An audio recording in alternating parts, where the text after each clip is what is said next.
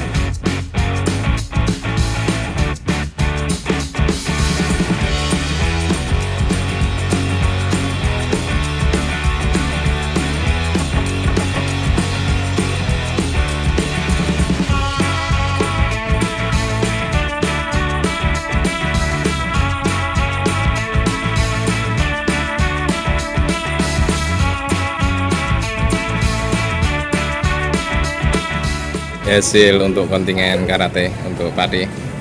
Seperti apa, Alhamdulillah untuk karate Kabupaten Pati sesuai atau melewati target yang ditetapkan oleh KONI Ya. yaitu karate di Porprov tahun 2023 ini kita mendapatkan tiga emas dan dua perunggu di nomor yang emas itu di nomor kata perorangan putra yaitu atlet kita Christopher Herbert terus kata bergu putra di situ ada Alvito ada Rian Rivaldi ada Satria Nur Wahyu dan kata bergu putri di situ ada Nisa Maulina Dewi Lintang dan Isa Alemanda Putri Terus untuk dua perunggu kita dapat dari kata perorangan putri yaitu atas nama Kenda Elanel Yahya dan komite perorangan putra min 55 kg atas nama Faris Supriya.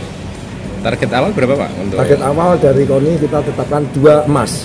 Enggak, Mas ya. Iya. Kalau Porprov tahun sebelumnya berapa Pak? Tahun sebelumnya kita mendapatkan satu perak dua perunggu. Ada peningkatan luar biasa nih Pak ya? Alhamdulillah ada peningkatan yang luar biasa. Mungkin pesaing berat dari daerah mana?